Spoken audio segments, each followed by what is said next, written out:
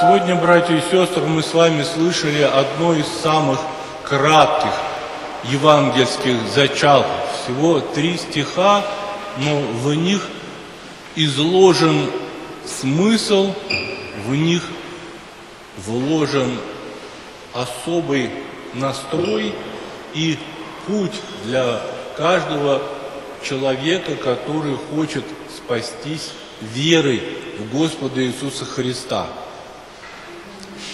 Как вы обратили внимание, возможны даже такие невероятные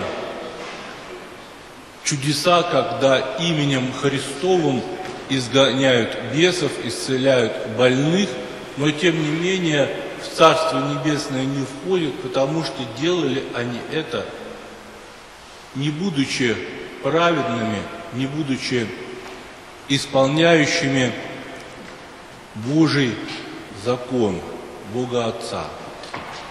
И вот для того, чтобы лучше понять этот контраст между призыванием именем имени Господня и настоящего исполнения того, что для каждого из нас дано в виде и нашей э, жизни, нашего креста и нашей судьбы. Мне хотелось бы древнюю притчу привести в пример. Э, умирает человек, и на суд Божий составляется. И начинает говорить, что я постился, как ты это заповедовал. А Бог ему отвечает, а какой смысл в посте? Я есть дух, и для меня твой пост, он ничего не значит. Я молился тебе, я всеблаженный и вечный. Мне молитва твоя ничего не прибавляет. Я делал добрые дела, подавал милостыню, посещал заключенных, старался помогать больным. Ну, вы смертные, вы болеете, садитесь в тюрьму и прочее с вами случаются а, неприятности и а, проблемы. Какое это отношение имеет ко мне?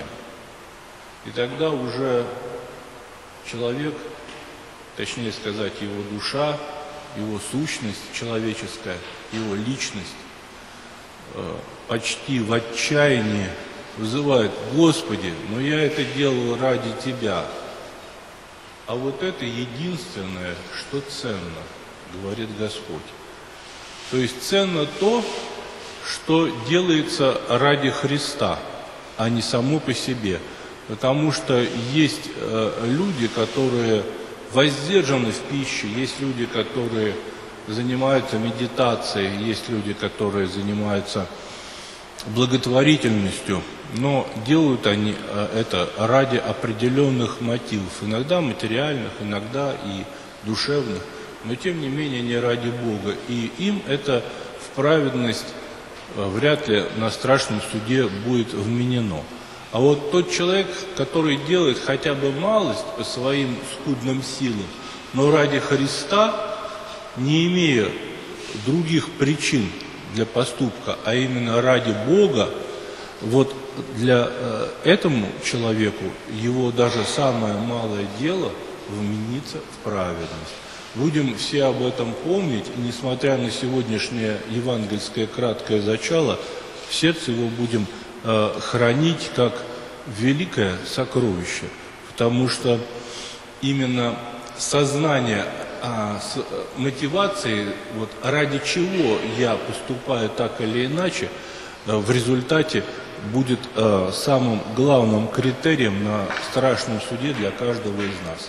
Причастников от всей души поздравляю с принятием святых Христов тайн, те, кто очистил совесть покаянием, с очищением совести. Спасибо Господи. Пожалуйста, к Христу подходите.